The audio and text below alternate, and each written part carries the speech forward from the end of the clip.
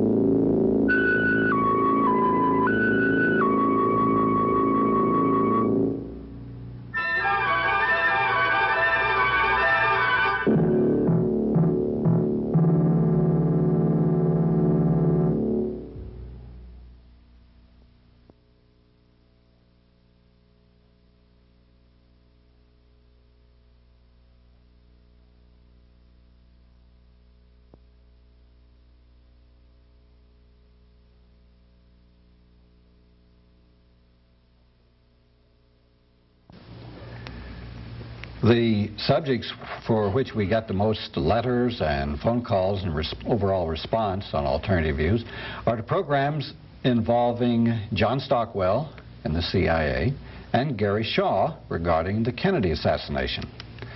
Well, hold on to your seats, folks. This is a special occasion because we have both of these gentlemen with us on Alternative Views. Gary Shaw, of course, is the author of Cover Up. He's been studying the Kennedy assassination for the last 25 years, and undoubtedly you've seen our two previous, or maybe three previous programs with Gary Shaw. John Stockwell, of course, was in the CIA for 13 years, got out, wrote his famous book, In Search of Enemies, and we've done, oh, I don't know, anywhere from 35 to 40 programs with John. Well, on alternative views now, we're going to look at the Kennedy assassination from the aspect of putting together, trying to put together the conspiracy to kill John Kennedy. In our previous programs, we've demolished the Warren Commission report, so we're not even going to deal with that today.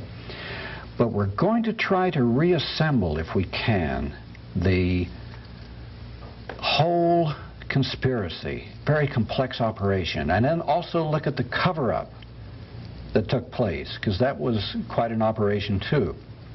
There have also been a lot of books that have been written recently about the Kennedy assassination, and we're going to review those as well. So this, I, I don't want to take any more time with the introduction. I'm so excited about what we're going to be talking about.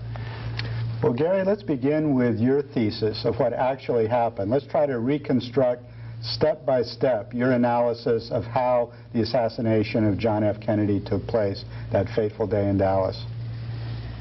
I don't know how long that's going to take us, Doug, but we'll, we'll try. Yeah, what are the different elements in this conspiracy? Basically, the different elements uh, in the conspiracy concern the politics of that day, John Kennedy's uh, movement in certain directions that were contrary in some aspects to almost every major force in America.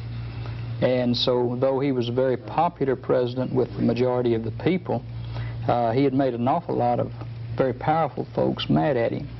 And so uh, Texas was having its problems uh, from a, the Democratic Party standpoint, and they were divided. And so the president comes to Texas on a political trip, and they plan motorcades and so forth for him to meet the people and give speeches and try to mend those party wounds.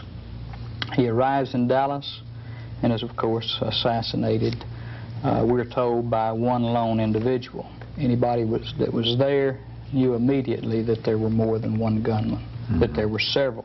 In fact, we've got certain eyewitnesses that felt, felt like that uh, there was an automatic weapon being used. That's how forceful and how quickly the shots were being fired at the motorcade.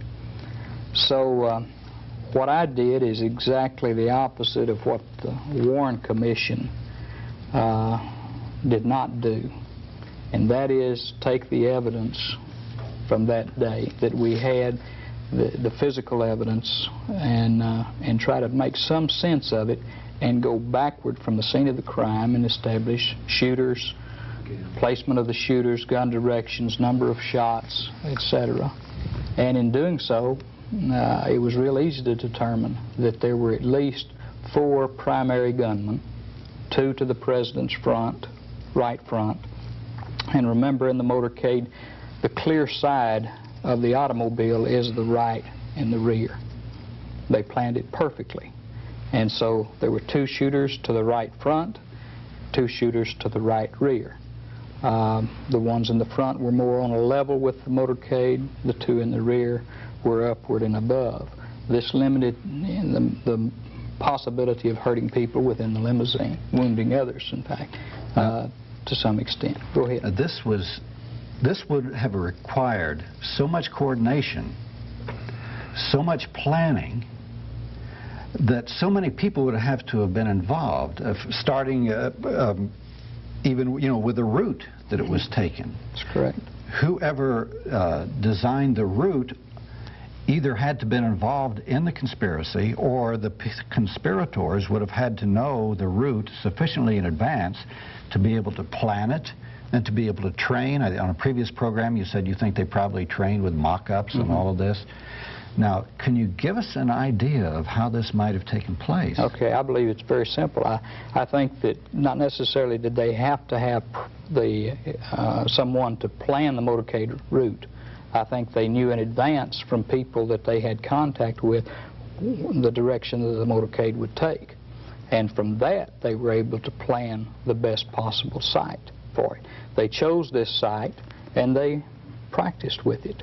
Uh, I think they built a mock-up. They, they had their two kill zones. Okay, this is the kill zone A. I call this gunman number one and gunman number two.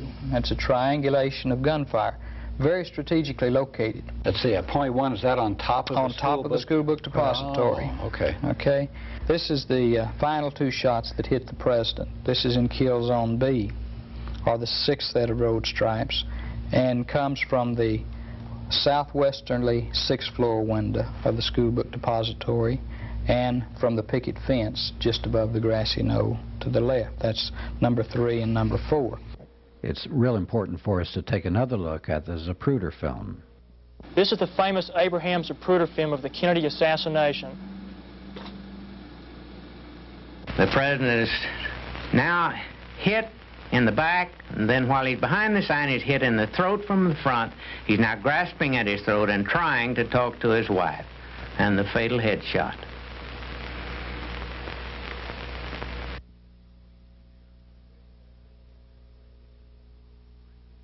This is a blow-up of that headshot. The president is hit. Now he's trying to talk to his wife, and he receives the fatal headshot. The president's reaction to the headshot can be seen more clearly with these enlargements. Notice that as the president is struck by the fatal headshot, his body is driven violently backwards.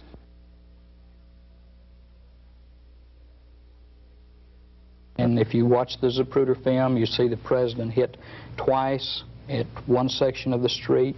He's hit again twice at a section, a second section. These just happen to coincide with the fourth set of road stripes numbering down from Houston Street on Elm to the sixth set of road stripes. Uh, that was pre-planned. They didn't have to try to follow him. Uh, when he came to that sixth set of road stripes, there's two gunmen that, that were already honed in right at that point. And uh, they didn't have to have much timing between the two because they knew where they were going to hit him. And um, they, uh, they fired. They did their job. The one thing you don't want to do if you're going to kill the President of the United States or any leader is miss. And I think they had two teams, two shooters, shooting teams, and they very accurately did their job that day. How far ahead would an elaborate assassination like this have to have been planned and have the people contacted to do it and trained so that they would be able to do such an incredibly perfect job uh, when they when the time came? Uh, this is going to lead us into a slightly different related subject. Um, inside the CIA, you don't have a class on assassinations in training. you don't rehearse assassinations. In fact, they work very hard to convince you that the CIA doesn't do assassinations.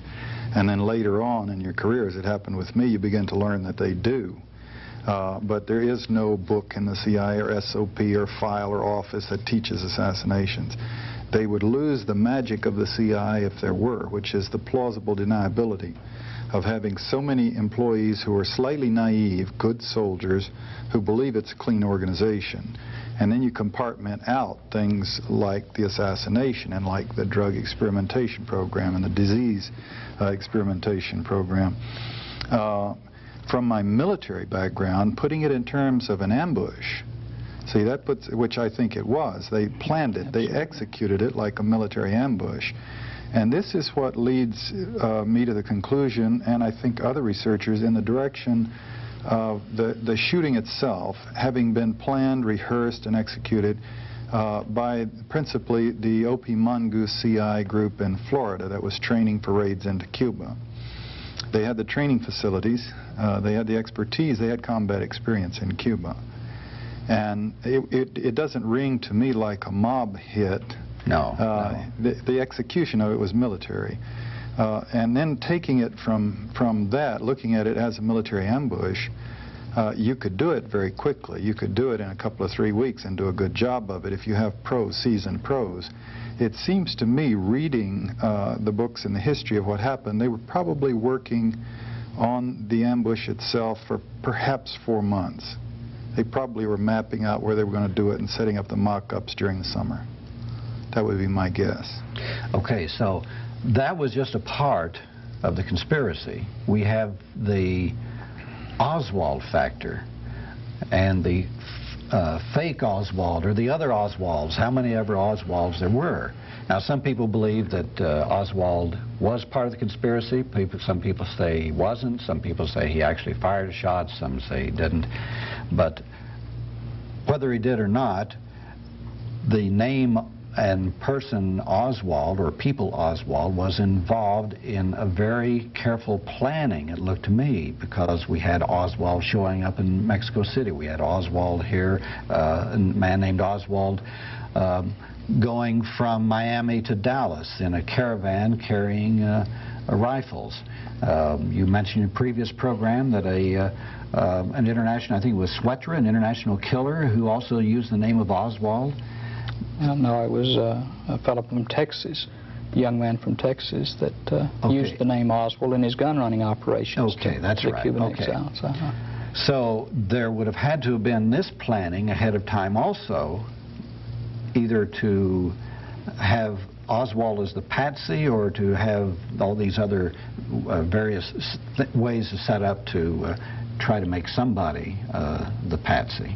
So what is your feeling on this aspect of a conspiracy? I think naturally, um, in the, in the pre-planning of this thing, they had to have something that would throw the authorities off there in Dallas immediately. And uh, Oswald became convenient because of his background as having been uh, communist aligned. He went to Russia and renounced his citizenship and so forth, and he was a perfect one because, uh, let's face it, in the United States and in Texas, we're ready to hate uh, a little commie any day of the week, uh, you know, and so when they were able to pick up Oswald, and he had good background. He had already been working with uh, uh, the Cuban exiles, we found out. Uh, he was also working as a pro-Castroite and passing out uh, fair play for Cuba uh, leaflets, etc. So he would seem like a cover-up itself. that's right. He's doing all of the right things, Yeah. and uh, his trip to Mexico is a mystery. It's still a mystery after 25 years, and uh, we still don't know what he was doing. We do know this. Again, the CIA, John, plays a, a particular role in this that I still don't understand.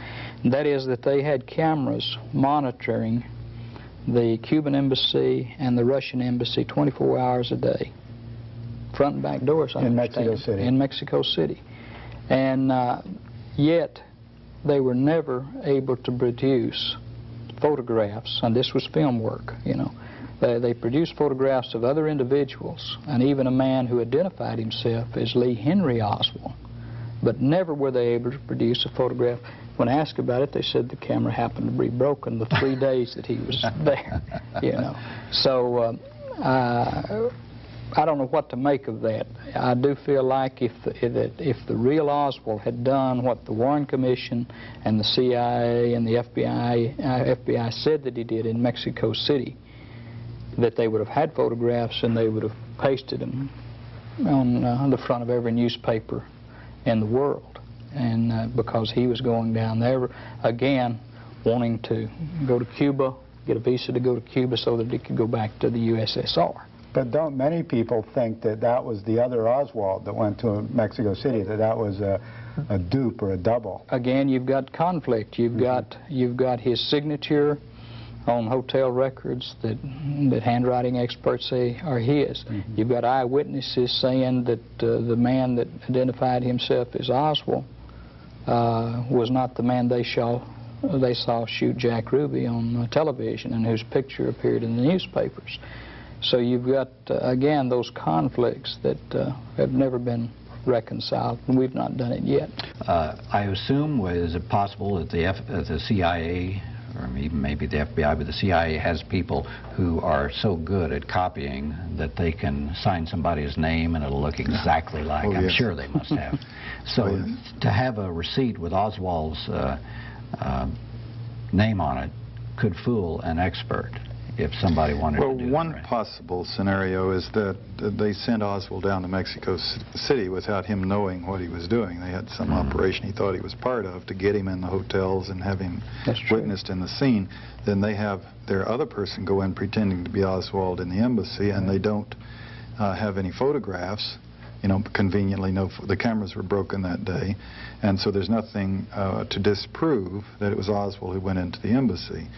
Uh, what uh, what they came up with, though, that seemed to contradict it pretty flatly, was the testimony of the Cuban consul and the, the people in the office who said, you know, as a, the guy was three inches taller and totally different build and appearance. Uh, that's one possible scenario. Again, we can't uh, we can't prove it. Uh, the way I see this thing working, trying to make it uh, understandable to me as I knew the agency and the people in the halls who, uh, people like myself and Ralph McGehee, for example, would, Phil Litchke, would never, you know, have remained in an organization that killed the president. I mean, we were, we were patriotic, you know, and we were supporting the system, and the president was the commander-in-chief. And yet the organization clearly was involved. So you think of it in terms of compartmentation. You have this group down in Florida, which is not inside the building, bureaucrats, you know, wearing coats and ties and shuffling papers. Um, pretty wild people, a lot of them Cuban exiles, and passionately involved, taking chances with their lives, uh, going into Cuba, uh, killing people, and blending smoothly into the mob activities into Cuba. And if they were the ones that did it, as appears to be the case, uh, they were quite compartmented from the activities in the building and all the rest of us. Then you start saying, well, how broad was the conspiracy? And I suggest that it could have worked this way. It wouldn't take that many people to actually plan and execute the killing, including uh, setting up Oswald as a, as a decoy, as a patsy.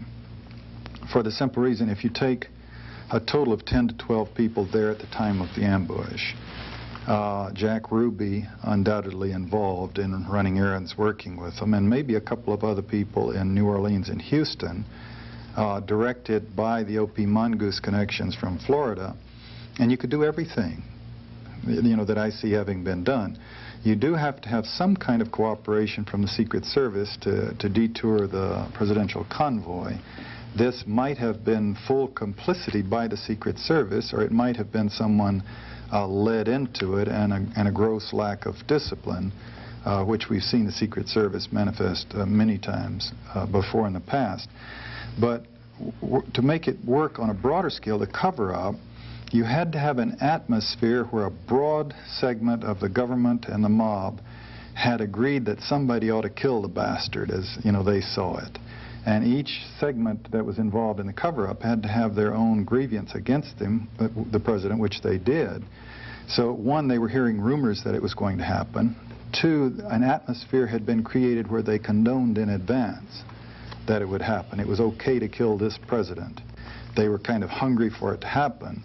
So you have a relatively small group of people actually plan and execute the killing, and a bunch of other people standing by and just automatically saying it's in our interest to work a cover-up on it. And they had been fed some essential ingredients that would make a cover-up possible on which to build a cover-up that seems to us, in retrospect, to have been pretty preposterous of a lone assassin. Mm -hmm. Very small police force with limited resources would, in a serious investigation, would have immediately have turned up a hundred things that were not consistent with a lone assassin. But just by throwing out the lone assassin, they were able to seize on that and build on that rather flagrantly, but successfully, to sell it to the public in such a way and, and the the rest of the establishment, so that no one was ever punished. But John, that sounds a lot like the book Betrayal by Robert Morrow, in which he tries to reconstruct uh, as best he could. And he said that it was done with a renegade group of CIA people in conjunction with the Cuban exiles, but with the knowledge of the CIA up at the top who let it happen. It was done by these people, but someone up at the top had to know. But see, that doesn't mean the whole building or all 15,000 people had to know, but there had to be a thread going up to the top, and I've speculated a lot. You know, who? Who was the chain of How command? high does it go? Uh, a lot of things seem to indicate that Dick Helms probably uh, knew of it uh, and may have been involved in the prior approvals and planning. Or he may have been sitting there knowing, sensing that it was going on, but in the sense, you do a lot of things in the CIA without spelling it out to headquarters. They teach you to do that, what you don't put in writing. And the whole science of being a chief of station is to know what they want done and to make it happen, but without forcing them to say yes or no. And of course, where it gets tricky is if you misread them and do something they don't want done, you can wreck your whole career. So that's the subtlety of that business. So you could have these people in Florida uh, planning this thing, Helms knowing that it was going to happen, but no one having put him, you know, on, on the, the spot where he would have to say yes or no or sign something. And then it happens, he clearly participated in the cover-up. Mm. How high was Helms at that? Was he director at that time of the Deputy CIA? Director. Deputy Director. Deputy Director. In our previous programs, you indicated that you thought there were some foreign professional assassins, particularly Frenchmen, involved in this, or a Frenchman.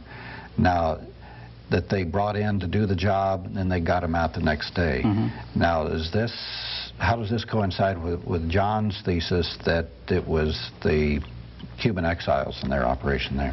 Among this conglomerate, this group of people that were participating and being trained by the CIA were mercenaries or soldiers of fortune from, from the corners of the world. Oh. And it was not unusual to find Frenchmen, Belgians, uh, mercenaries, and so forth. So it would not surprise me if you're going to kill the most important man in the world at that time, and I see him as that, uh, I think you would get the best trained men available. And it does not surprise me that the evidence leads toward some French mercenaries being, being used in this operation. Um, I, I, don't have any great problem with that, but I don't think that they ne necessarily had to have brought in a full team of shooters from Marseille. Uh, for the simple reason they had some very passionate people right on their own staffs. I could visualize a scene uh, where some of the people like Orlando Bosch was saying, I want to shoot, you know, I want one of the rifles, and maybe some of the others, but they might have had a professional or two brought in, you know, as the nucleus of the thing. Is there a mafia connection that's plausible to the two of you? It is to me uh, simply because the mob was already operating within this uh, this program. The Operation Mongoose, to the assassinate Operation Castro. Mongoose, and and they had taken two of uh, your higher-ranking mafia figures, Johnny Roselli and Sam Giancana. The Kennedys had gone after them. That's right. The, the mob's, one of its big bases of operations was in Havana before the revolution. And Fidel was cutting all that off, severing the ties of nationalizing the gambling casinos that had belonged to Traficante and other uh, mob figures. And so in the war, the efforts to kill Fidel had been begun by the mob before the CIA approached the mob and said, let's kill uh, Castro, for example. The mob operations and activities into Cuba were extensive, and this put them uh, shoulder to shoulder and piggybacking upon and working with the CIA's mongoose people into Cuba to, to some points where they, you know, it's almost indistinguishable, uh, you know, as to what, where does CIA activity stop and mob activity start vis-a-vis the operations from Florida into Cuba. One example it's not crystal clear, but it does make a point, is this David Ferrie, the pilot, uh, who was clearly at times flying arms for the CIA. Uh, also, uh, uh, allegedly flew Marcello back from Guatemala, where Bobby Kennedy had had him thrown out of the country, and he flew back in. And apparently, now the question is, was Ferrie on the mob payroll when he flew Marcello back in, or did the CIA send him to get Marcello and bring him back in? But you take it another step, of course, the famous Jack Ruby, whose whose ties are so extent this may have nothing to do with anything, but in 1947, Congressman Richard Nixon intervened when the Congress was investigating Jack Rubenstein in Chicago and got him off from, from being investigated, and he relocated to, to Dallas and became Jack Ruby. Nixon had extensive close uh, relationships with the mafia. So close that, uh, according to the Playboy History of Organized Crime, the Secret Service had to say, hey, Richard, you better cool it. You can't keep going out on uh, yachts with these guys. They're mafia. The Yeah. people are going to start looking at this. clearly a, a liability in his presidency. Uh, getting into the detail, and there's several of these these books that are, that are, are out now where you can read uh, Contract on America, particularly, and some of the others about the mob activities in Dallas and how extensive they were. And bringing back to what we were talking about before, the setup, luring the president into the ambush, was the Secret Service involved? Uh, to my knowledge, we don't know. But we do know the Secret Service people out boozing it up until 5 in the morning, one of them, uh, in a nightclub that was owned by a friend of Jack Ruby's. The night before the assassination? Yes. Close friend. A close friend of Jack Ruby's, a place where Jack Ruby uh, ran, uh, uh, you know, visited and hung out. Same girls worked there. Same girls Mhm. worked there, and they were there, some of them until 2 or 3 in the morning, and one until 5 in the morning, and this was the President's Secret Service. Now, again, it could just be a very, very dirty, sloppy Secret Service operation, and they're hung over, and that might explain alone some of their uh, very dubious, unprofessional conduct during the shooting. You know, basic rule, when the bullets start flying, you mash down on the accelerator and get out of there. And instead, the driver stopped and turned around and looked back for a while for some very precious seconds. Uh, that could just be people with, with heavy hangovers. or it could be some corruption from the mob, or maybe the mob's role was just take these people out and show them a good time and get them thoroughly drunk. Provide information also to Indeed. the um, CIA or whoever the hitmen were. So you don't think the mob were part of the hit squad? In other words, it has more of a military CIA operation. Oh, I think they overlapped right into it. I see. Yeah, I think I think that the lines distinguishing from the mongoose people and their activities and the mob activities in in Florida, in New Orleans, uh, and Dallas through Ruby were probably indistinguishable. Ferrie working for both, Jack Ruby working for both, indistinguishable. And you get into the question about how would they know what the route, exact route was. Well, you know, if if if the, if they're boozing it up until five in the morning with Secret Service people, you can presume that the contact was very intimate and they knew a lot about what was happening. There's always been something that has um, not bothered me, but did uh, puzzle me a bit. How far ahead of time did Oswald take that uh, job at the school book depository? Hmm. About a month. It was about a month, a little over a month. a month. So if he was part of the conspiracy, they would have had to know what the route was a month ahead of time, would they not, if they were going to plant him as the patsy? And I wonder even if the if the uh, uh, trip was scheduled that far in advance. Yes, the trip was planned that far in advance, and uh, probably the motorcade uh, was on paper. And uh, the the one key ingredient there to uh, to knowing about the motorcade is Jack Ruby's close uh, relationship with the Dallas Police Department. Uh, he went as he pleased among them. They, they came to his club. They were treated royally. Uh, his girls were told to wine, dine, whatever they needed, and uh, to take care of them. Uh, that's the reason he was able on Friday night.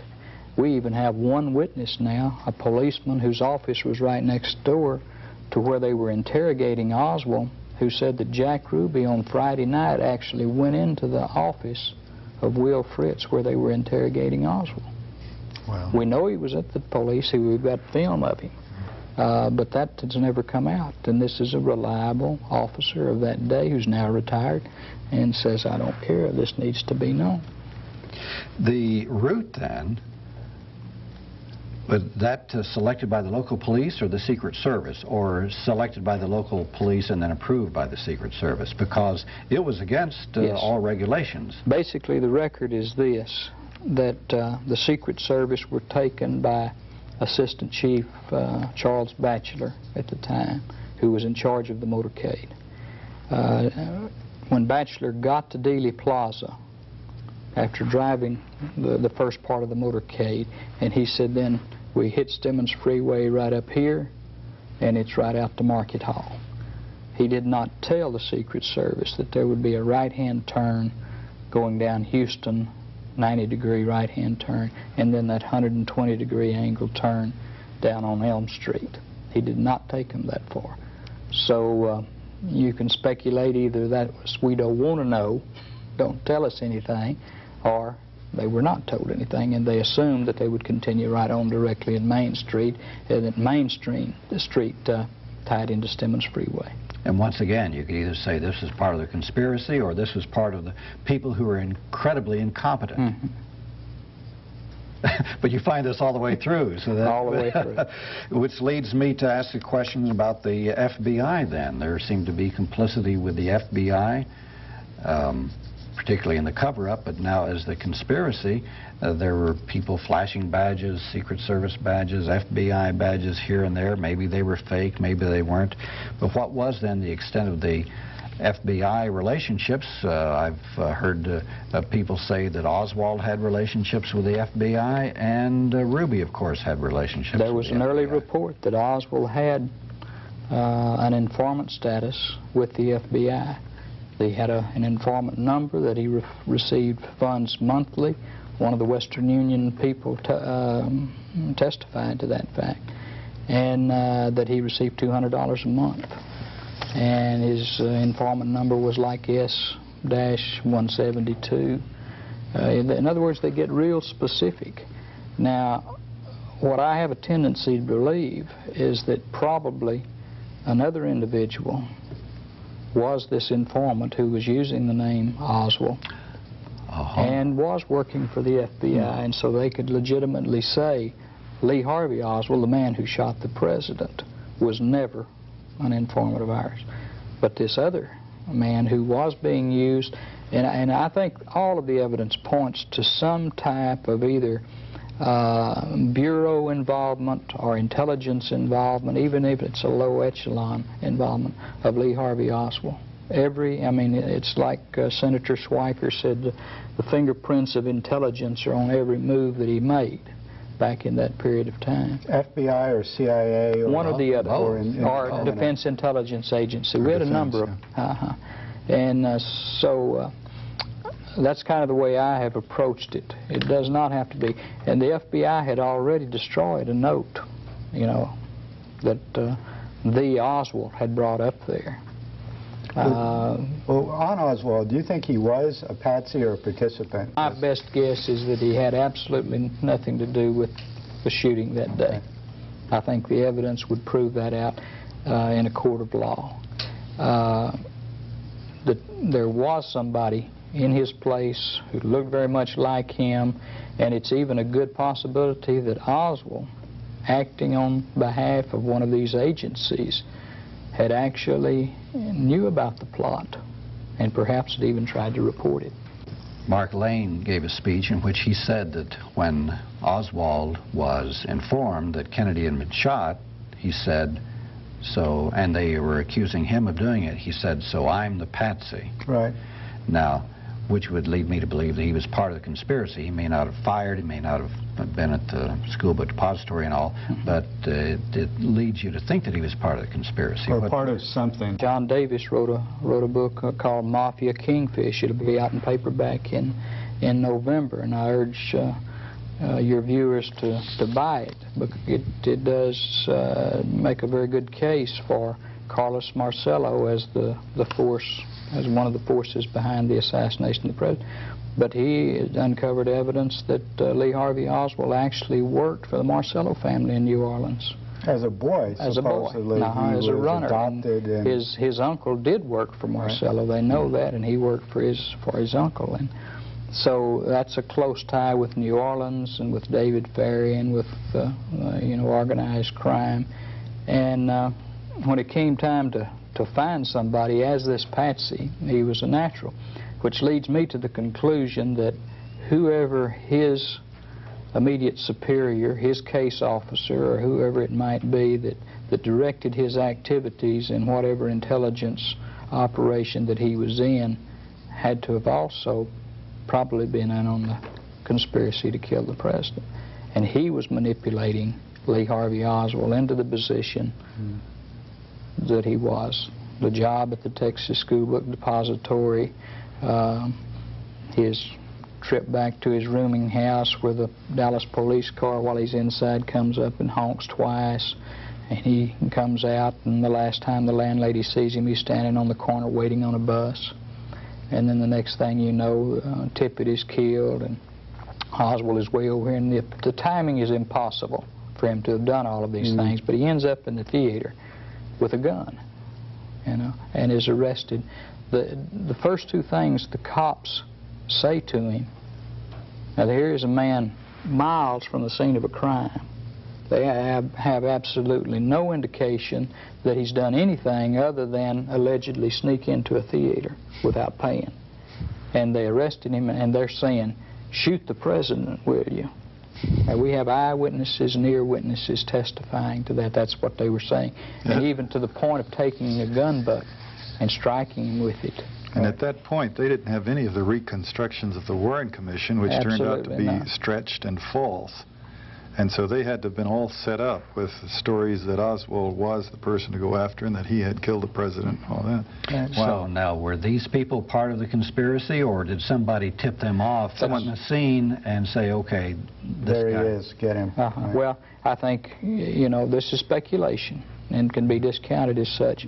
But Oswald, when he saw what came down, immediately would do what I would do, or John would do, and he calls his superior and says, hey, this has happened, what's going on? And he says, I don't know, meet me at the Texas Theater, like we usually do, or meet me at the Marsalis uh, Zoo, uh, whatever they decide is a meeting place. And uh, then they hang up. He picks up the phone. He calls the authorities. Uh, your man will be such and such place, such and such time. There is another aspect of the conspiracy which uh, either would have needed to be taken care of or as part of the cover-up, which we'll get into later, and that's the medical aspect.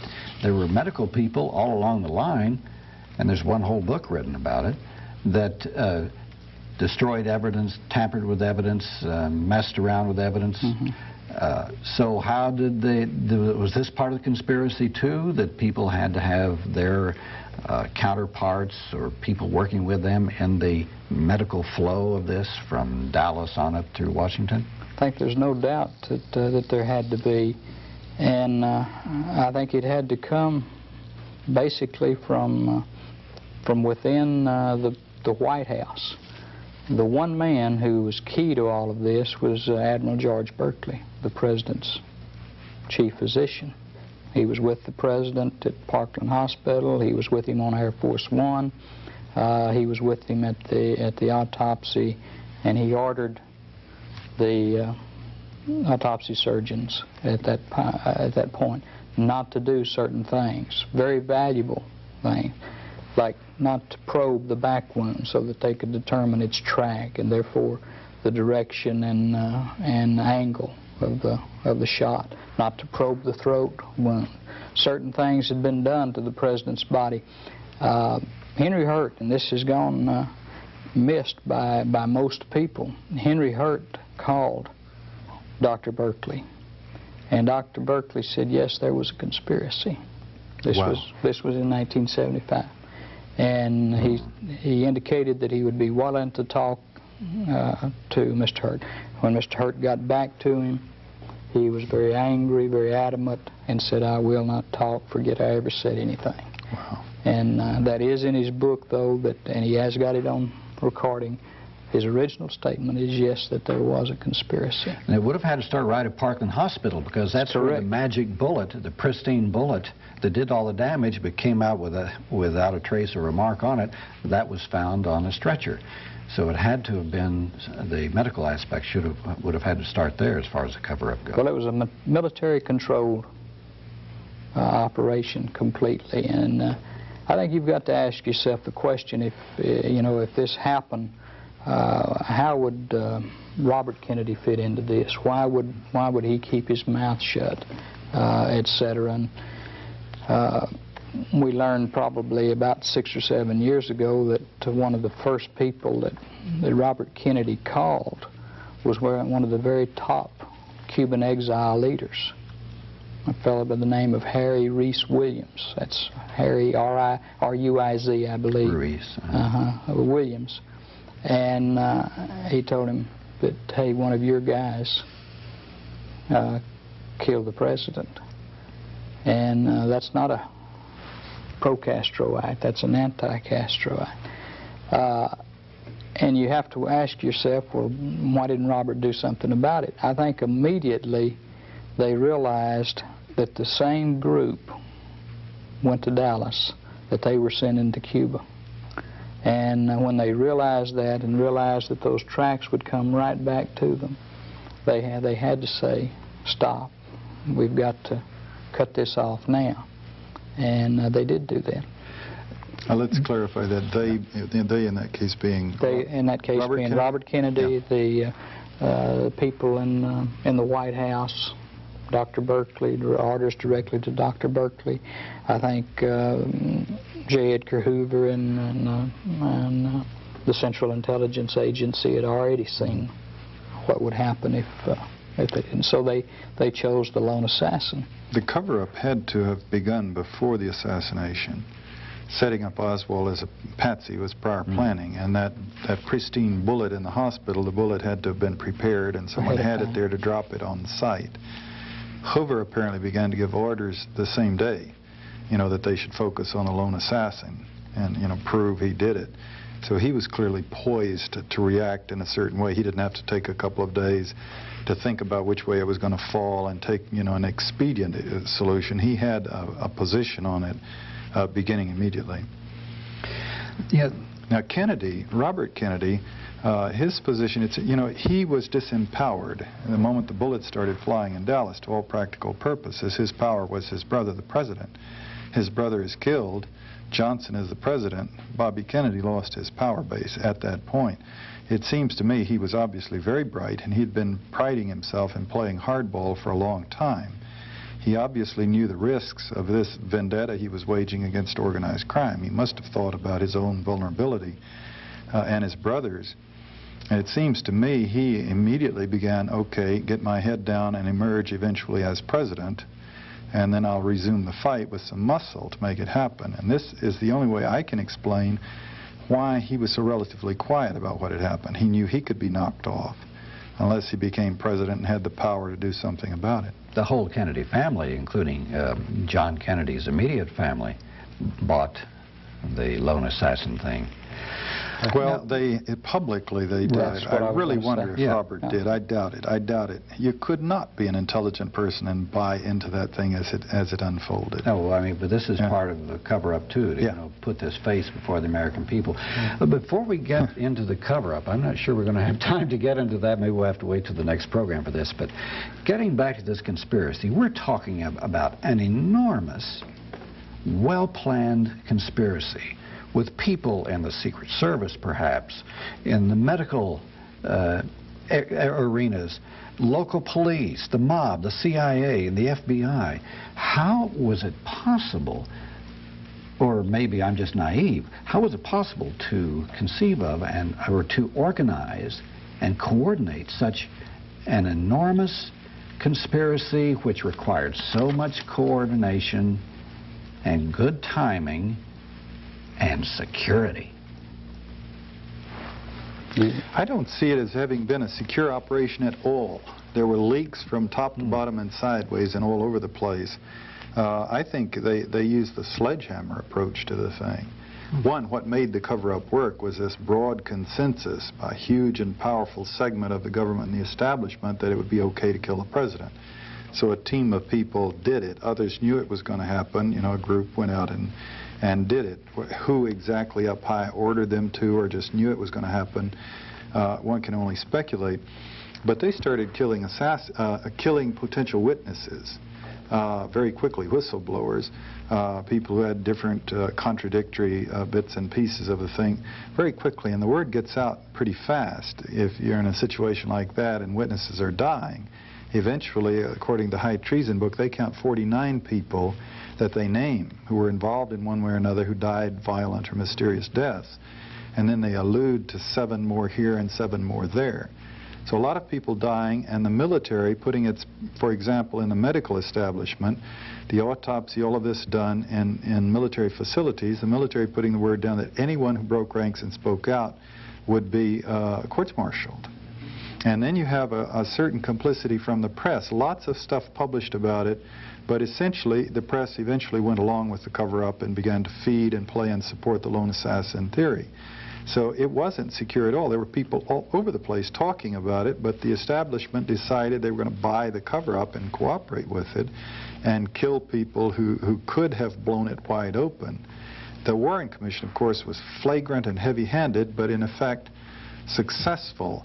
Its selection of witnesses, for example, as it, as it reworked the evidence around the autopsy and the body, uh, not calling any of the nurses or doctors in Dallas to go up and testify and say where the wounds were and what the condition of the body was when they examined it, for example.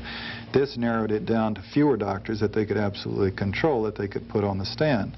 And they could easily be intimidated. Some of them were quiet then, and they've begun to speak out now and say, this is not possible. What, in your best guess, is the scenario that happened? Who actually shot JFK, and who actually was behind it? Basically, you go back to the politics of that day, and, and John Kennedy was doing things in Cuba that had angered organized crime uh, to the extent that uh, he had made promises that they'd have uh, the Cubans would have Havana back, which meant the casinos would open back up, prostitution would flourish, the Las Vegas off the coast of Florida would be blossoming again, and narcotics traffic would have its easy flow, and and uh, the, the good times would be back. He reneged on that promise. He reneged at the Bay of Pigs and alienated the Cuban exiles to the point of bitter hatred. You read books like Peter Wyden's Bay of Pigs, and, and you see that they say if they'd had a gun and could have gotten to him, they'd have killed him that day, that the air support didn't come in uh, at the uh, Pigs Bay invasion. So uh, you see that little group, and you see that they have already got in operation an assassination apparatus.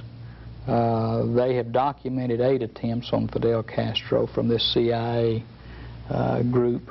Uh, Fidel Castro says there's 24, I think. And it's curious that it only took one attempt for the President of the United States. It only took they- one, they so you wonder how serious these attempts really were. But uh, you uh, you take that grouping right there, and when John Kennedy reneged on everything that he said after the missile crisis, uh, and uh, he promised but, uh, um, Khrushchev that there would be never be an invasion of Cuba if they'd pull those uh, offensive missiles out. Then uh, the handwriting, I think, was on the wall at that time, and there was vengefulness involved. There was uh, money involved. There was power, and uh, that turned a, an apparatus that it was already trained and in in operation, uh, and turned it to uh, to Dallas.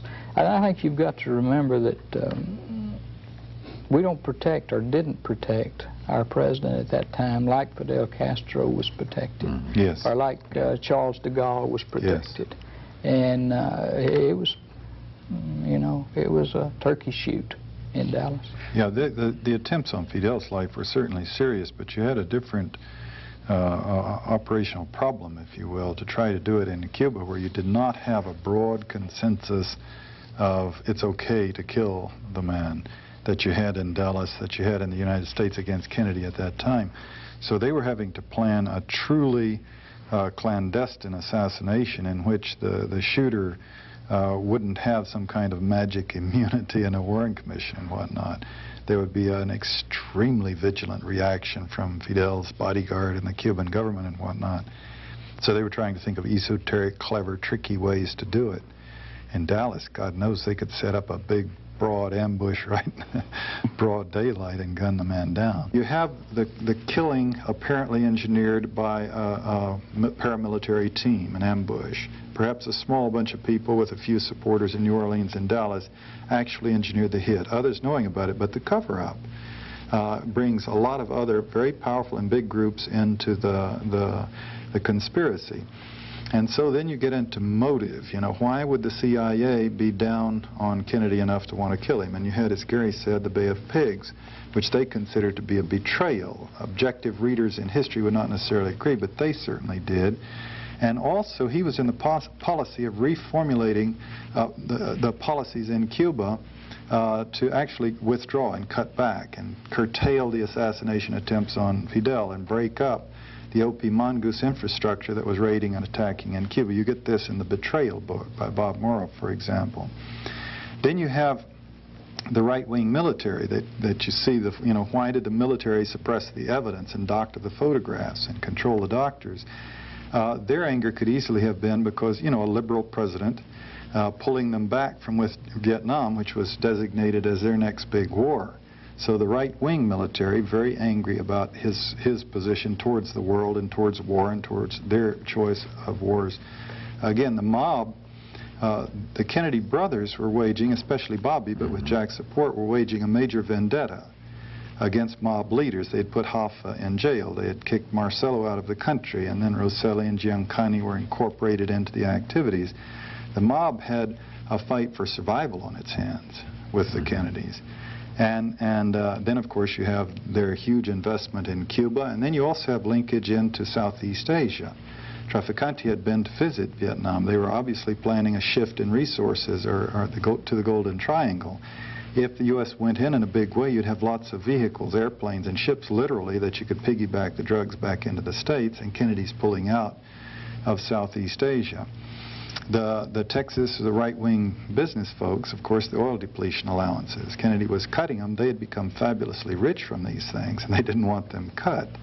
Uh, and then you get, of course, the key uh, is the FBI. not necessarily in the planning of the killing or the execution of the killing, but certainly Hoover's position, immediate position in the cover-up was essential to make it work. All his agents trying to construct, or ordered to try to construct evidence that would pinpoint a lone assassin. Some of them came up with bits and pieces that were quite contradictory, which the Warren Commission pretty much just ignored. So where did the FBI come up with its big grievance against Kennedy? And this is where you get into, for example, Contract on America, uh, David Scheim's book. Uh, Hoover had, and also this other excellent book, we have a copy here, Secrecy and Power, The Life of J. Edgar Hoover. Hoover had a lifetime association with organized crime. He bet and gambled, you know, weekly. It was his big passion, and he took two vacations a year regularly uh, where the bills were picked up by people who related to, to organized crime. And he maintained throughout that uh, that organized crime was not a problem, not a factor in our society. Didn't exist. Didn't exist. Mm -hmm. No, the mafia didn't exist. The mafia, the mafia didn't exist. Yeah. And so he he's in a position, if you know, from that position and that history and that involvement, mm -hmm. his relationship with the mob, and then of course his his hard right-wing stance, period, across the board. What you had all of these people faced with a very dynamic, effective, liberal president uh, who promised to be in office for four years and then four more years, quite possibly followed by his brother for four years and maybe four more years, and God knows, Teddy after that. I mean, they could see a real dyna dynasty uh, moving. All the polls were showing that they had no chance whatsoever to win in the electoral process. And this is the reasoning where people come up and say it was a coup d'etat this right-wing shadow government faced with, you know, each one with their, each element with their grievance against Kennedy, and this bottom underlying agreement that, that he was uh, a liberal, you know, doing everything wrong from their view of the world, uh, wanting to get rid of him. They couldn't wait for an election. They wouldn't win an election anyway. So the only way they could defend their interests would be to eliminate him. Thereby, uh, at the same time, establishing very clearly to subsequent presidents and senators and congresspeople about who really controls the power in this country and what the bottom line is when you start taking positions that could damage their interests. Well, we've talked about the conspiracy. On our next program, we're going to talk about the cover-up and also some of the new books that have come out recently with John Stockwell and Gary Shaw. will Be with us. Can't wait for that one either. So stay with us for our next program. That brings us to the end of this Alternative Views. Gary Shaw has established the JFK Assassination Information Center in Dallas. It's a repository of a lot of information concerning the assassinations available to the public. It has films, newsreels, audio and visual tapes, artifacts, government documents, books, and publications. They're available to you in the center's files. It's a 3,000 square foot area which includes a public exhibit where evidence and information concerning the assassinations are on display. You can also see a 20-minute film of the assassination and its controversies. If you'd like a copy of this brochure, which you've been looking at on your screen, send a self-addressed stamped envelope to JFK Assassination Information Center, West End Marketplace, Suite 310, 603 Munger Avenue, Dallas, Texas 75202. The phone number is 214-871-2770. That's the JFK Assassination Information Center, West End Marketplace, Suite 310, 603 Munger Avenue, Dallas, Texas 75202. Alternative Views is a production of the Alternative Information Network. P.O. Box 7279, Austin, Texas 78713. Bye.